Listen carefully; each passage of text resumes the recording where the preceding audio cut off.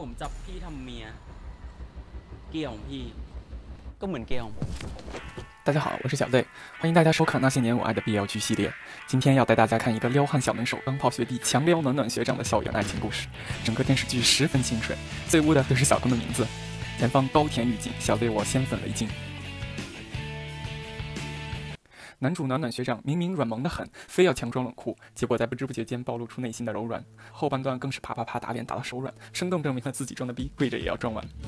男主钢炮学弟，情话小王子，告诉我们套路玩得好，男友搞到手。两集一小撩，三集一大撩，撩的小 Z 我口干舌燥，躁动不安，少女心炸裂，简直不要不要，完全没有一个直男应有的矜持和素养。故事从大三学长对大一新生在素质拓展活动中的严厉要求开始。面对一个个拽的二五八万式的学长，面对一个个不合理的要求和不断升级的惩罚，吃瓜看戏群众纷纷表示没法忍受，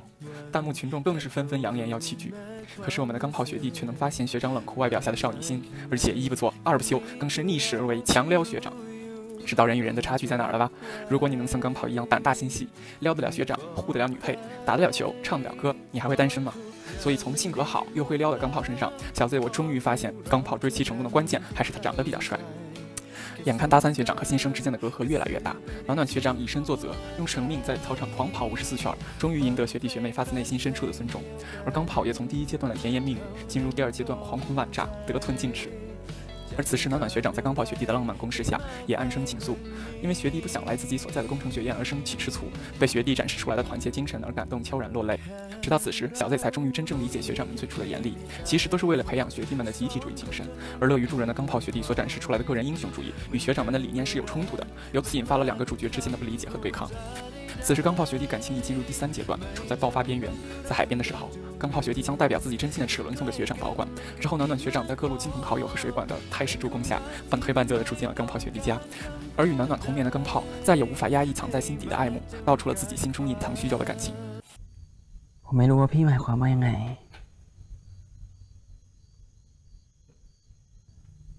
แต่ถ้าพี่หมายความแบบเดียวกับผม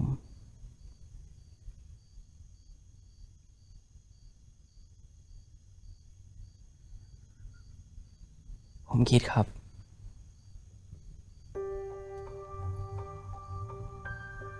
听到钢炮新生的暖暖学长开始逃避，却在不断的推卸中发现了自己对钢炮的爱。在钢炮感情走到第四阶段心灰意冷的时候，学长突然回到了钢炮身边。小 Z 我最喜欢的一段就是钢炮面对学长一句又一句的暗示时，那既开心又惊喜，却又不敢置信的表情。